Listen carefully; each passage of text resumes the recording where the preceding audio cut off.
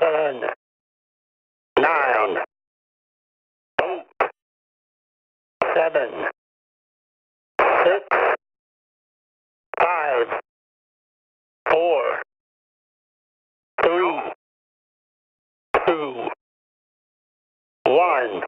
Ignition. We have liftoff.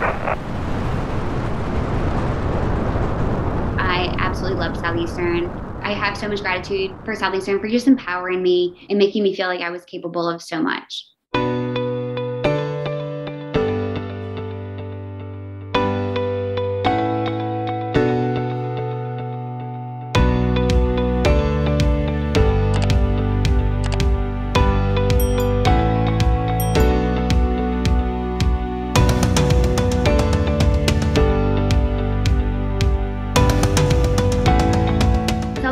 Definitely gave me interpersonal skills.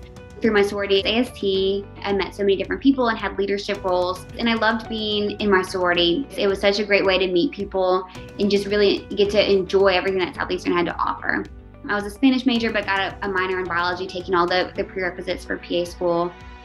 I met some Spanish speaking St. Jude patients when I interned at St. Jude the summer after my freshman year, and they had a really big impact on me.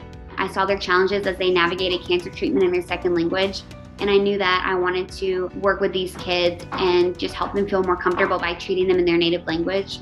I was able to study abroad, and that was just the greatest experience because it really taught me a lot of going out of my comfort zone. And through studying Spanish, the whole world has been opened up to me. I loved my time at Southeastern. It definitely made me who I am.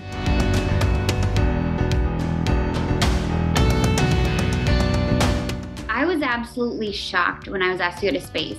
I got a phone call with St. Jude, and they start telling me about this first all civilian mission into space and how it's going to be used as a fundraiser for St. Jude. I actually laughed and I said, What, are you serious?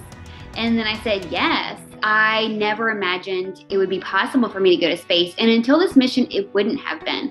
Because I have an internal prosthesis in my leg, I would not have been qualified to be a NASA astronaut.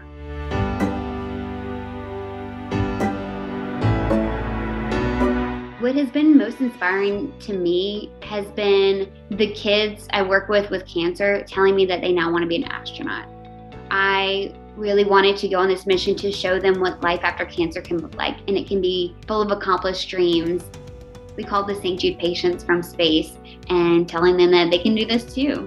Through our mission, we raised over $240 million for St. Jude.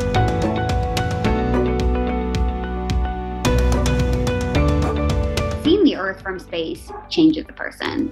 When I saw the earth, I was just overwhelmed by how beautiful it was. I also felt the most intense feeling of gratitude that I've ever felt. Gratitude for, for being alive, for getting to experience something that so few people have gotten to experience. And that feeling of gratitude will stay with me forever. I'm the first lion to go to space, but hopefully not the last.